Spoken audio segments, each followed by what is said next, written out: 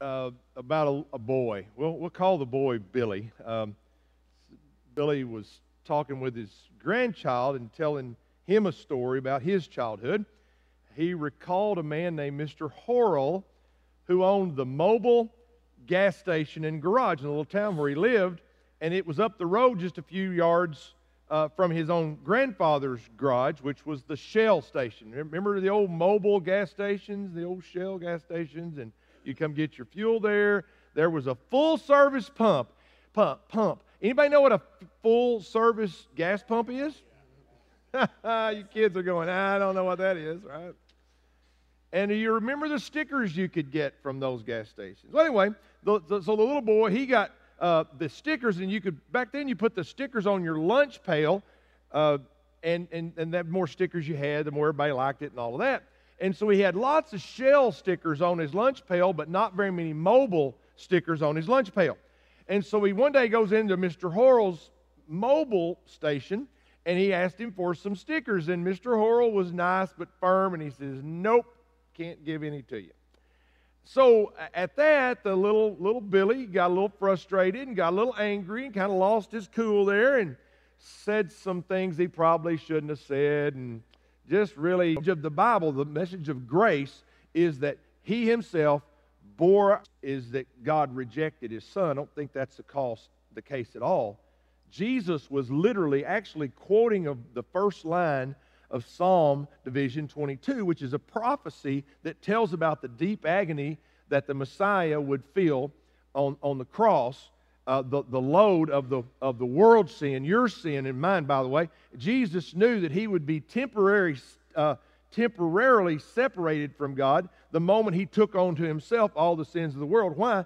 Because God will not look upon sin. It's repugnant to him. In fact, if you go back to Habakkuk, chapter 1, verse 13, the Bible says, Your eyes are too pure to look on evil. You cannot tolerate the wrong.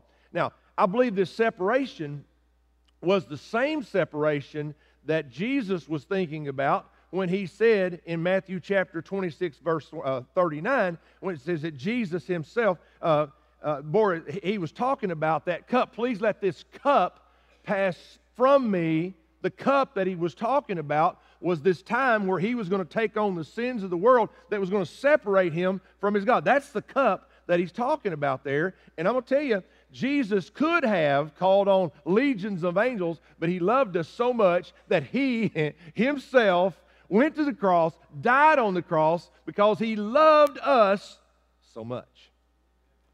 Can I just tell you, when you face impossible stuff in your life, when you face the hardest times in your life, and when you have me come visit you in the hospital or in the hospice house, every time you're going to hear me say, How's things between you and Jesus?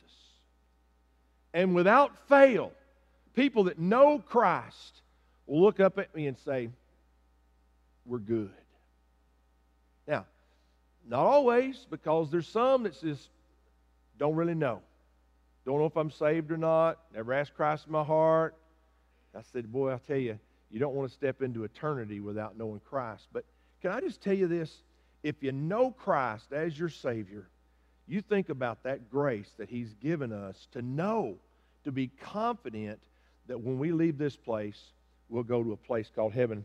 Tomorrow, uh, just after noon, about 1 o'clock, I've got a, a, a graveside funeral do for a lady that was a senior adult lady that was in my group over at First Baptist Lowell. And gosh, she was such a sweet lady and loved me and would cook lunch for me every once in a while just because she loved me. And when she left this world, she left this world knowing that she was not going to go uh, anywhere else other than to the arms of God. And guys, I just, I just believe in my heart that when you die here, you're not going to go meet St. Peter at the pearly gates. You're going to meet Jesus himself. I think that he himself is going to be waiting for us. I mean, yeah, the streets of gold, the pearls of gate, show me my mansion, all those different things. Listen, I get to heaven, I'm looking around, I'm, I'm, I'm looking for Jesus. And he's going to be easy to find because he's everywhere.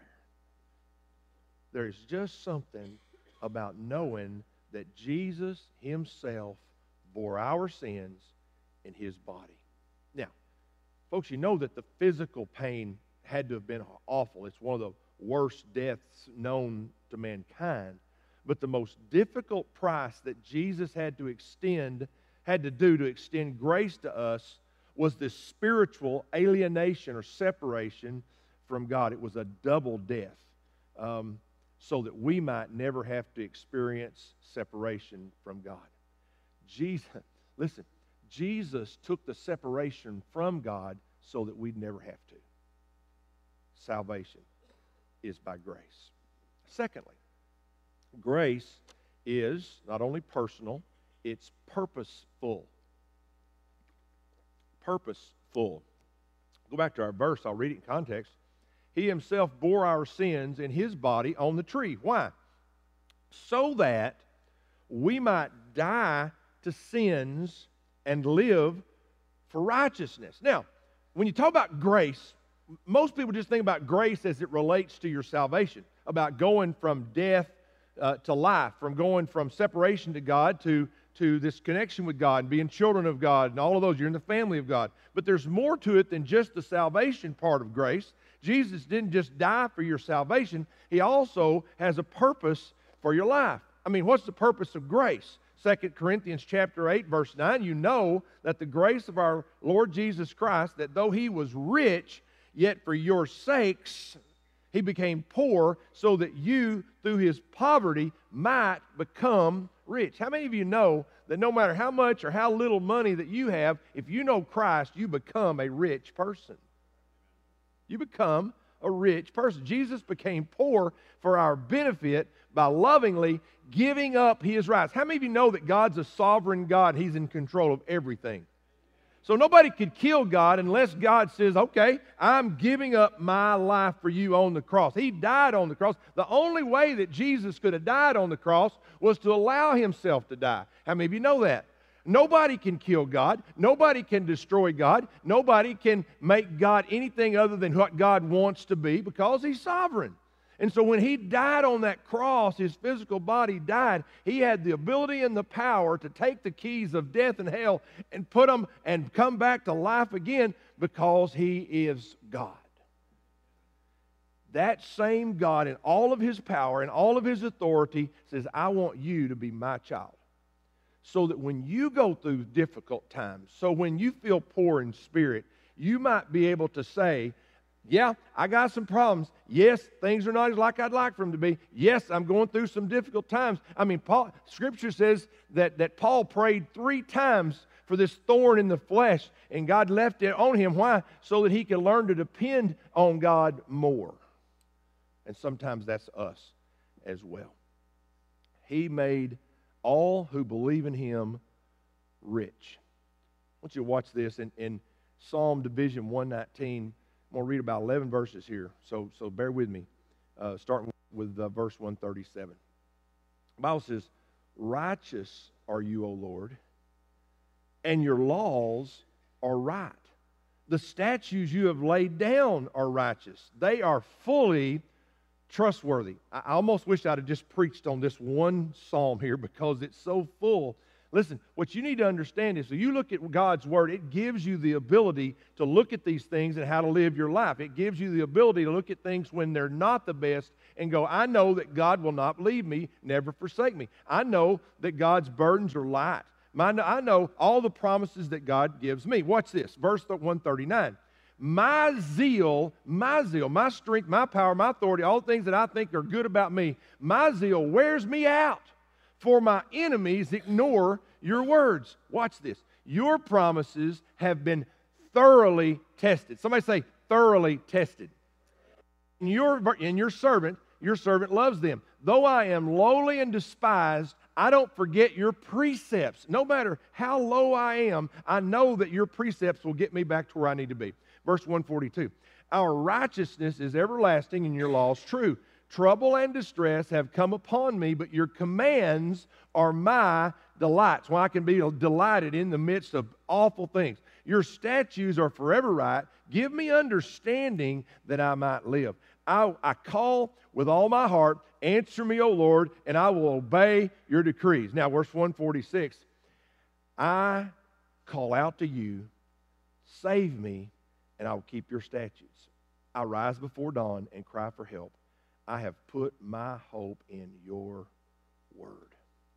Grace is personal, grace is purposeful. It has a purpose in your life. It's to keep you from being distraught, it's to keep you from being nothing and to make you everything. It's to keep you from being poor and to make you rich. It's to keep you to make sure that you know that you'll never be alone in your life, that God will always be there with you. And then, thirdly, grace is powerful. How many of you know grace is powerful? How many of you know grace is powerful? I mean, goodness gracious. Look at, the, look at the verse. Again, I'll read it in context here. He himself, talking about Jesus, he himself bore our sins in his body on the tree so that we might die to sins and live to righteousness, live for righteousness. Now, watch this. He ends this verse by saying, By his wounds you have been healed. Aren't you glad it's not the opposite? By our win, by our wounds, he's been healed. That wouldn't even make any sense at all, would it? Only God can heal you. Only God can take you from your lostness and make you into your saved person. Only God can do that. You don't have the power to do it. Now, maybe there's somebody here that has not heard me talk about this, but bear with me. Uh, you know, in this world right now, we're kind of in a me movement, aren't we? I guess we always have been. Everybody's always thinking about me and, and all that. I, I won't even get into the politics of all that, but it's frustrating. I know it is for you. But let's say, let's say that I am, let's say that I am Cheryl like in my Christianity. I mean, just barely below heaven. I mean, just, just if I if I stood up, my, my head would pop into heaven. That's how close I am to God, right? I mean, let's just pretend that I'm that close to heaven, okay? And then let's pretend that we got we got Johnny here. And and and listen, my feet are my feet are burning right now. Right? Amen. Amen. I look down, I see Mark right now. I'm just kidding. I'm just, just kidding. I'm just kidding. Right? So I Cheryl's real close to heaven, and I'm a long way from heaven. Can I just tell you the gulf between her and heaven is the same as the gulf between me and heaven. We don't have the power, we don't have the ability, we don't have the resources, we don't have the ability to get ourselves from where we are into heaven. We don't. It takes the power of God to get us there. That's salvation. Now, let's talk about after salvation. We're talking about by his wounds you have been healed. Now, you've been healed in a spiritual sense because you've went from death to life. We know that. But what about the rest of us? What about this righteousness that leads to salvation? It's not talking about salvation from the standpoint of I was lost and now I'm found. It's talking about where God, the purpose that God, the, the place that God, the sanctification that God wants to have take place in your life to take you from the old creature to the new creature. How many of you, how many of you have heard me talk about the old Johnny? Okay, good. Um, three. All right. So, listen, there's things that, that I used to do that God helped me to overcome. I got a long way to go, but I'm a long way from where I was. How about y'all? That's because of the power of the grace of God. God gave us the power inside of us and a person called the Holy Spirit to help us in our, in, in our sanctification. That just means to be made right in our righteousness of God. That's what it's talking about. So, this grace is not only amazing for salvation, it's also amazing for this sanctification. Listen, I know it's a churchy word, but it just means to be made better, to be made holy. Now, um, this grace is amazing because it's, it's not one size fits all. It's, it's, it's, it's dedicated just for what you need. It's amazing because it's purposeful. It's amazing because it's powerful. It's all we need. It's amazing because it literally allows us to tap in to the power of God. It's amazing because it's available to the entire world at one time, at the same time. It's amazing because of the change it performs in the lives of those who receive it. Now, let me just tell you, alone, Abraham could not see past the little village that he was a part of. But with God, he could envision the promise of a whole new land for the children of God. Alone, Moses was confined to, to uh, uh, herding his father in law's sheep. But with God, he could envision the promise of, of, of taking the, the, the Israelites, the Hebrews, to freedom. Alone, David could not imagine being anything other than a simple shepherd, but with God, he became the king of Israel. Alone, Joshua felt the weight of leadership heavy on his shoulders, but with God, he led the people of Israel into the promised land. Alone, John the Baptist was an outcast and a misfit, but with God, he was a prophet and a visionary. Alone, Mary was insignificant and lowly, but with God, she gave birth to the greatest gift that God's ever given to earth. Alone, Peter hid in the high priest's courtyard, but with God, he stood in the temple and he preached. Alone, Paul was filled with pride and rage, but with God, thank God, he was filled with love and peace. Can I just tell you this morning, to be an effective child of God, we need to, we need to tap in to the power of Christ because it's there for us. It's not for any other reason but to allow us to be closer to God and be able to go through situations in our lives and even though things may be difficult, and even though things may not be what we want, God will put us in a place where we can be happy and find joy in our lives. Listen, I thank God for mountaintop experiences. I thank God for mountaintop experiences, don't you? Those times when God just shows up so big. You know, this morning I, I turn, I look around, and I see different people standing in different places over here, and I just think, hey, I say, thank God that we are able to worship. And thank God that we're able to just feel free to just not worry about what our, how our neighbor's worshiping or what they're doing, but they stand up and even though they squeak out a note that sounds awful, they're praising God and God hears it and thinks it's wonderful. Amen. Y'all are all looking at each other going, yep, that's you. but because of grace, He puts it he puts your squeaky voice into something that's pleasant to God's ears. Don't ever be ashamed. I'll tell you this little story. I'll, I'll be done. There was an older gentleman in our choir at Second Baptist Church in Conway, way back in the 80s when I was uh, on staff there. And guy, big old tall guy, he, he, wonderful old guy. He had a little bit of learning impairment. But the old boy loved to sing. And I was about the only one that could stand next to him because whenever he sang, he didn't get close to the note. I mean, it was barely in the same room, right? But our music minister, uh, Dennis, would allow him to sing in the choir, not because he could sing good, because he loved to sing. Sometimes he sang a little too loud. Sometimes people around him couldn't find their note because of his. But I remember at his funeral, that think it was Brother Black that was doing that sermon. And he said, You know, right now, he called him by name and he said, uh, He's got a Bing Crosby voice or something like that. I don't remember, but he's got a wonderful voice now in heaven because God takes everything that we do, as good or bad as it is, and he makes it into something amazing. In Philippians 3 7, Paul said, Whatever was to my profit, I now consider loss for the case of Christ, for the sake of Christ.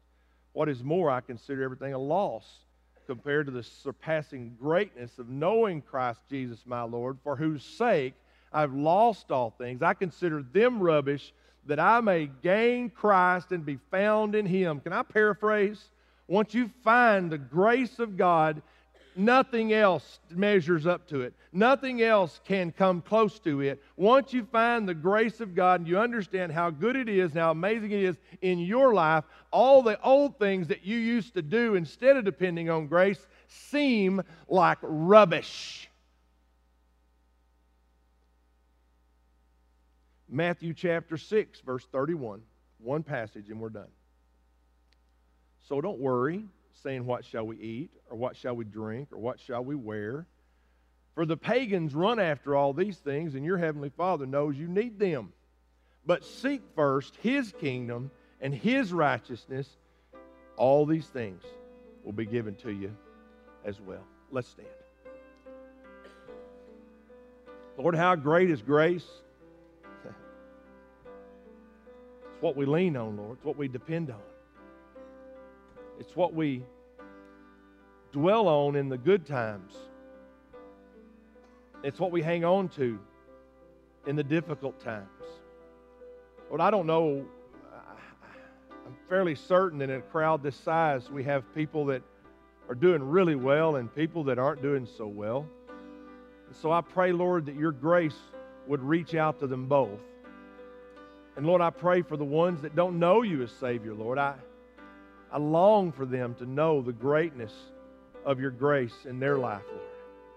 So, Lord, if there's one here, or maybe a family or a couple, or um, someone, Lord, that just needs to come down and spend some time at this altar, realizing how good that grace is, and knowing that even though maybe some difficult times are here, that they're going to be easier because of you. And maybe somebody comes up to praise you because of how you've worked with them in their life. I don't know, Lord, what you're trying to do this morning, but I pray that your Holy Spirit, Lord, would feel free to move around us in a very special way, in a very unique way.